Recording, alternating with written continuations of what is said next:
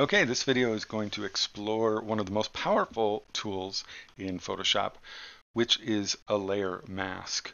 So easiest way to access layer masks are right down here. You select the layer and you click that button and it adds a mask. So I'm going to be smart here and I'm going to hit Command J to duplicate the layer. I'll turn off my background layer.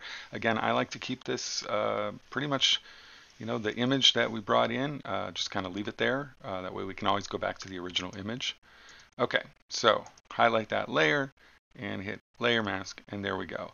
What we have is this white box. Notice that there are these white lines around the corners.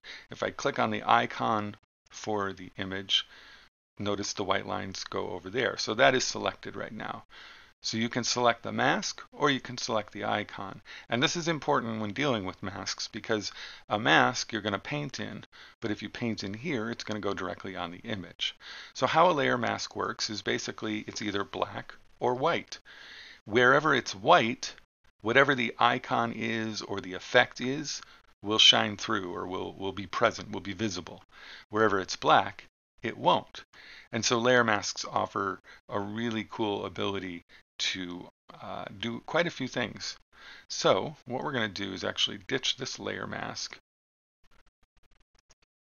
and we're going to add a black and white filter.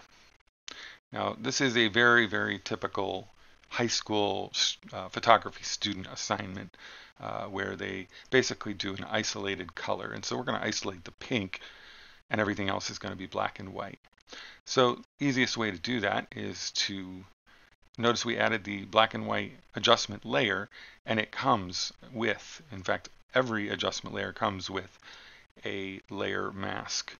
And so all you really have to do is grab your brush and I'm going to make sure I have just a normal brush and eh, make it a little bit soft and here's where the black and white comes in handy. So if I paint white, right, it's not going to do anything.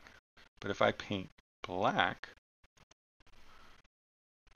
oops, I still have it on my old brush. But notice the pink shines through. Uh, I need to go back to my old brush here. Where? Let's choose, go back to general brushes and choose my soft round brush. There we go. Okay. So what I want to do is increase the size. Now, see how size, small the uh, cursor is. You can come up here, the brush, not the cursor, and you can select it this way. However, professionals, no. We're going to hit the bracket tools, which are right next to P and forward slash, or backward slash. And so the brackets, the left and the right brackets will increase or decrease the size of your brush. So uh, I'm going to have my brush about there. I'm going to go ahead and click, and there we go. And make it a little smaller. And I just want, see, so there's green, so I'm going to have to go back and fix that. But I just want to go wherever there is pink. And because there's a reflection, I'm going to have to make sure I get the reflection as well. And notice I'm not being very careful here because I don't have to be. It's a layer mask. Layer masks are beautiful for not being careful. All right, so got all that pink in. And so now I can go back and actually fix it by switching back to white. But what I want you to do is see right there. See how that black shape there? That's where I painted black. And so now, if I just kind of come in here with white and kind of do all my corrections so that we don't get that green showing up. And this can be time consuming.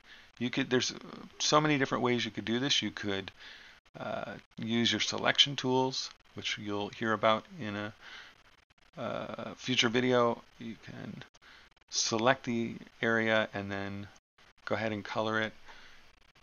And I'm going to switch back to black so I can have the pink shine through where I got a little bit, oops, got a little bit too much.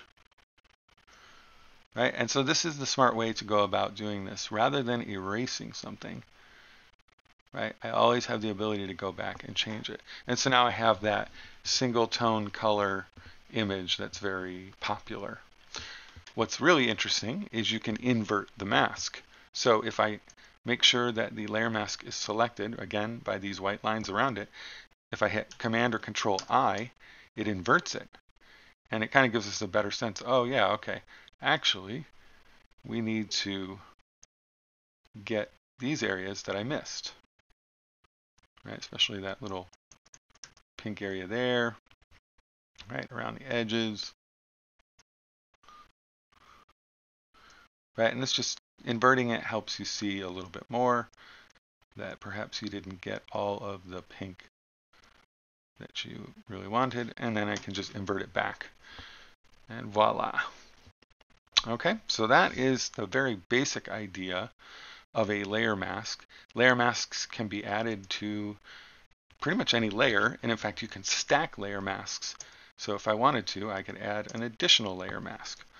Um, I'll let you figure out why you would ever need to do that, but at the very least you understand the basic idea of a layer mask and how to use it.